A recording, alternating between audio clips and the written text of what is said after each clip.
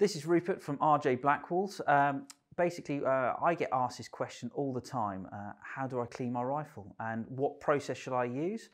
Um, loads of people do have loads of different ideas. We've got a process here we think works really well and it's something I just want to go through, through, with, through with you.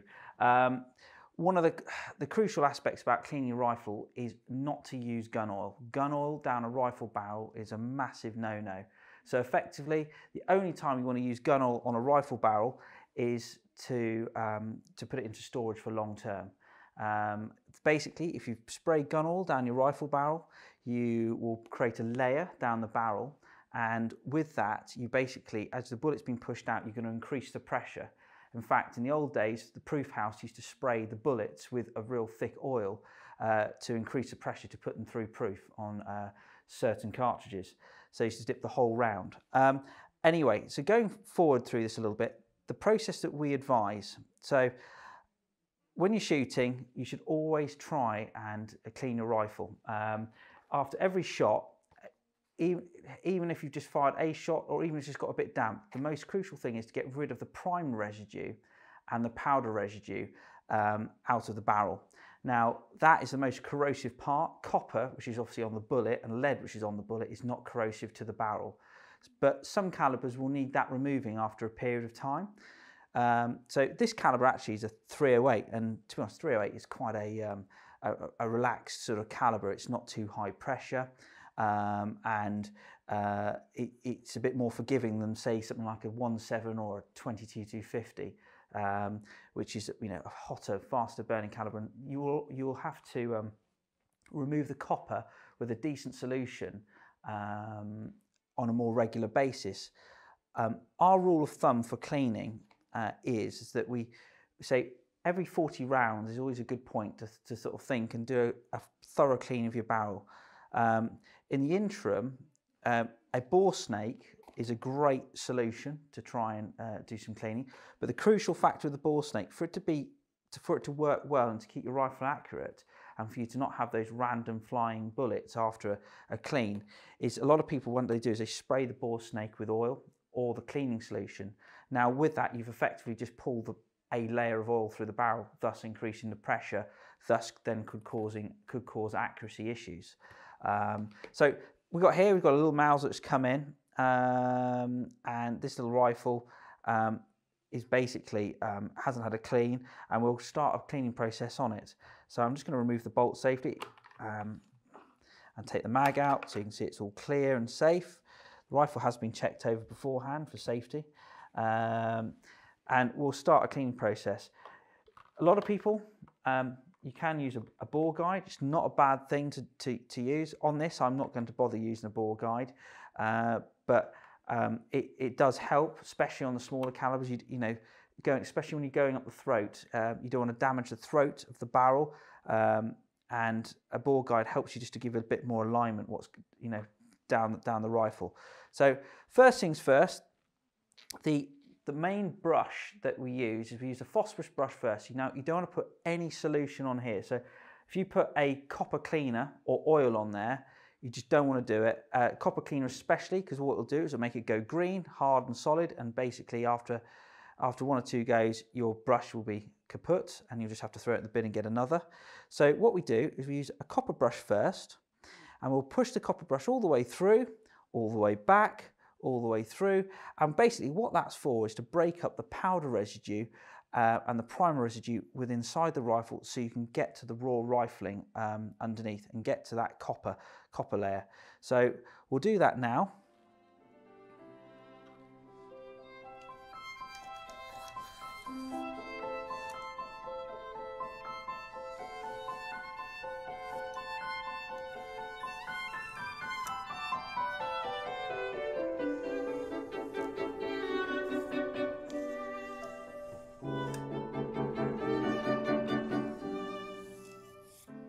And we want to do that. This is pretty grubby, this rifle, as you can see. There's still loads of powder residue coming out and primer residue coming out of the, of the barrel.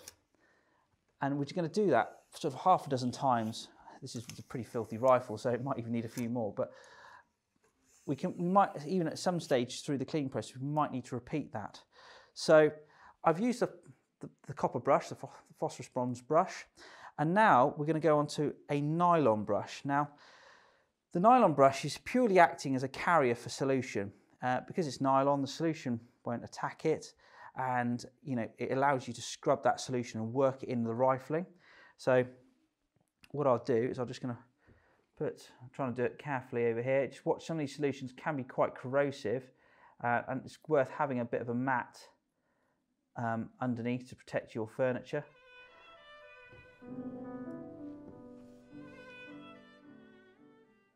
So I'm just trying to do it so I don't lose too much solution as I'm putting, putting it through.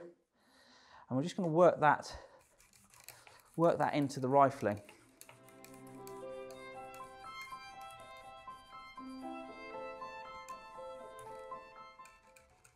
And the, the thing with these solutions is you don't want to just keep putting solution on patches all the time. Allow the solution to do some of its work. It's a bit like, you know, using a cleaning agent at home, like bleach or something like that.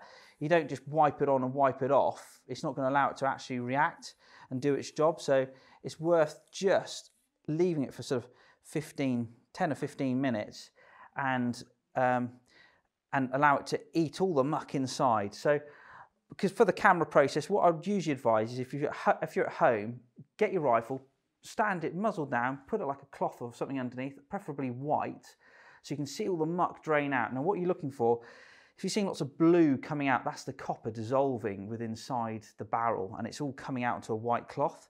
So if, we, if, if you leave it muzzle down, it's a great way and also it stops any of the solution coming back into the action or especially if you've got woodwork because some of these, some of these solutions, if you've got wood, they can actually eat the finish. Um, and you can get little patches, especially around here where people have over put too much on.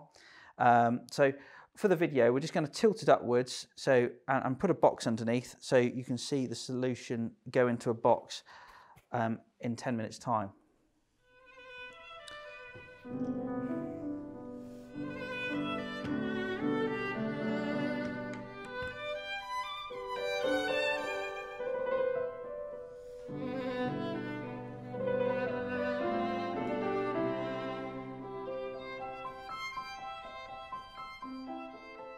So we've left this for 15 minutes um, and as you can see there's some uh, blue gunge coming out the barrel. There's obviously some black gunge which is obviously some of the residue left from using the phosphorus brush um, here.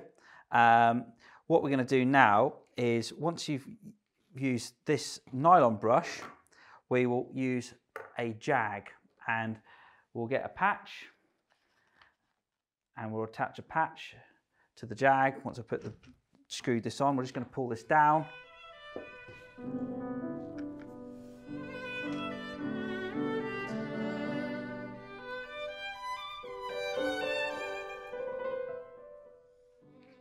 And you get, now with the patches, you can buy patches for all different calibers. So this is obviously a 30 cal, we've got a 30 cal patches.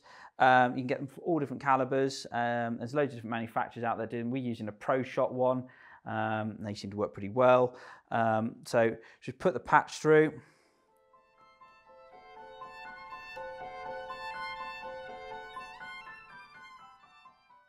And as you see, there's a load of muck coming out on that.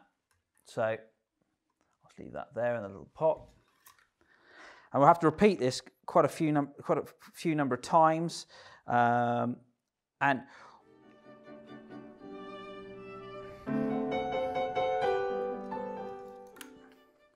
And you know, an, an, an, important thing, just to sort of reiterate what we've been through this, going through the first part of this video, is that after every time you shoot, you should put your bore snake through. And even like I said, even if the rifle gets damp or wet, it's just worth running it through. Especially, you know, especially us lot in the UK where we have moderators, um, we get condensation is quite a big build up around the moderator. Um, most of the rifle barrels are, uh, are, that come in to us that are you know, supposedly not shooting are generally through damage via the moderator. And it's not because the moderator is causing the damage, it's just because there's condensation from when the moderator's on and when the barrel heats up, the two cool at two different levels. So what you find is, is this last bit here pits a lot faster, which is where you get the moisture, the powder residue and the prime residue mix. And of course, the last you know, four to six inches, depending on the length of your moderator, you know, if you have to cut that back because it's got so badly pitted, that's pretty much destroyed your barrel. Um, so, and also your crown, the crown gets obviously eaten away. So it's just, to spend a few seconds after after an evening, you know, an evening stalking or hunting, um, putting a bore snake through. It takes no time, and like I said, you know, you increase your the life of your rifle, um, you know, tenfold. Most rifle barrels, um, obviously, they have a, a slight variation in in length depending on the caliber and depending how fast they're running and how hot they're they're set up. Um, so like a 308, you know, if you clean it and maintain it well, you might still notice accuracy issues after around 5,000 rounds, depending on the barrel material. There's all kinds of variations between hammer forge uh, barrels. You might get a little bit more because it's slightly harder. Um, but you know, the hotter, the faster calibers, like the 17 Remington, um, you know, your barrel life might be, say, you know, depending on how well you clean and maintain it, say, you know, 2,000 rounds. Um, so and this is still coming out fairly grubby. Now, so what we have to do is, is to repeat the process again. So there's still muck coming out of that, so I'm not happy with that at the moment. So we'll use the little nylon brush and we'll put a bit more solution on it.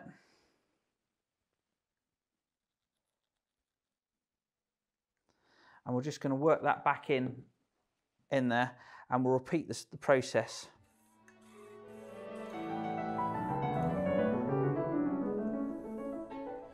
And again, you know, obviously I'm doing this for a video. You can use uh, gun cleaning cradles. They're a really good system. Keep the rifle level and actually ideally keep the muzzle down. Try Again, try and keep all the solution away. Um, so I'll just put this, this here underneath here for this video, just to tilt the muzzle down. And we'll just allow that to, to drain out. Um, now, going back through cleaning around the action of the rifle, that's an area that you know, needs to be done. I've had it before where people go mad spraying oil around the action. Now, all you really want to do is you just want to you want to you can put a bit of oil and a bit of cleaner of, some some solution. This is just a pheromone cleaner. It's, just, a, just a, it's a general general sort of drying oil, so it doesn't leave too much like residue afterwards. But you know, squirt a little bit around the bolt just be careful not to put too much on, because what you don't want to do is you don't want uh, the, the oil going from the inside the action and then going onto the ammunition and then causing your problem with regarding the rounds picking up oil and then and then transferring that down into the barrel. And that's can also cause. I've had it before where the people come in and say oh you know I've, I've cleaned it but you know I haven't put any oil down the barrel. But then you look at the action it's absolutely soaking in oil where the guy's gone mad. Um, and don't put too much oil, but you just want to wipe it all over. You know, it's metal, it's moving metal components, so a little gentle film of oil around places is, is, is really good. And you can get little brushes and things like that, and you can work it in, into various places just to try and scrape any muck that's gathered in there.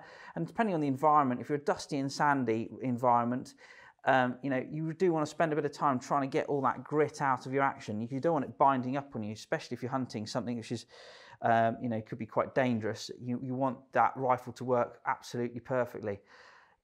If the rifle's getting to a stage where it really is, you know, you're starting to have issues, you obviously just want to get it to your local gunsmith and get them to have a strip it all down and give it a proper clean, strip the trigger mechanism out, take the barrel out, have a proper look, and he can properly wash it all out without damaging your stock, you know, especially if you've got a lovely wooden stock, you know, these chemicals and solutions, the action and everything will have to come out and it's also worth getting your mounts checked. Now, even on a clean, you can just check your mounts, make sure there's no movement in, the, in your rail, your bases, and if you've got rings, you know, just check those rings because, you know, after a bit of time, you know, you're shooting, get a bit of vibration, that can, that can cause issues. Um, so it, it is worth just spending a little bit of time doing that. So um, hopefully now we've just, just allowed a little bit more solution. I'm just trying to speed this up a fraction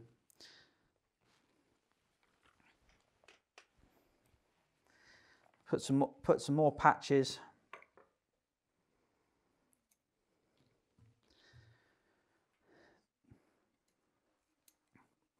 Few more patches down. And we'll probably, this, this process in total time length, you know, for a, a decent clean can often take about, you know, 30, 30, 40 minutes. Um, and sometimes on some, you know, you can spend longer than that if it hasn't been done for a while. You see, that's all coming out really, really blue. And that shows that, you know, that we are getting into the copper. That last load of solution is really getting into that copper now and starting to take it out. Um, now, some calibers can be affected by a clean. Uh, it's really, you could get 10 rifles from one factory and one, one likes it clean and one likes it with a bit of extra copper. You can't, you know, there's no real true explanation for that. Um, I've often found is that if you clean it properly and you get keep no oil in there, you, you often only move zero very fractionally, often maybe half an inch to an inch at tops. It's very unusual. If you've, if you've somehow trans, transferred all back in there, you can often throw your zero out quite dramatically and you can throw it out to maybe you know, two to three inches and, and sometimes more. I've known people have flyers because uh, they've got so much oil down there. But if you clean it properly and follow this process, you find your point of zero should not change dramatically, if not at all. Um, so, and it's, it's a little bit of time for you to get to know your rifle as well. So uh, every, every rifle is fractionally different and you try the process, check zero, and then if it doesn't move zero, you'll then have the confidence that the process is working well for your rifle. Um, but like I said, if in the interim, just use that bore snake uh, to get to get that powder and primer residue out if you don't have the time to use uh, to go into a full clean. So starting from the beginning, I'm just going to take these brushes off and do it in a sort of an order. Just to remind everybody, copper brush first, and that's to bust up the primer residue and the powder residue. Then we use a nylon brush, and that's to basically act as a carrier uh, to carry the solution and take it into the barrel and scrub it into the barrel. And then, then you use a jag to carry the patches and take all the muck out. And you want to leave that at the end, you want to make sure it's all dry and make sure there's no solution crept back in into the, into the action at all. Like I said, some of these solutions, you've got to be careful. Remember to remove them because some of them can be actually a bit corrosive. Um, but just be careful solution. I like the more aggressive solution. This is a uh, um, Eliminator bore cleaner we find from Boretech. We find that a really good solution. Um, it's, it's, a slightly stronger solution than others, and that works really well. Um, so that's that's the sort of process. Um, I hope you've enjoyed this video, and um, if you have any queries, please, don't, please do not hesitate to contact me. Thank you.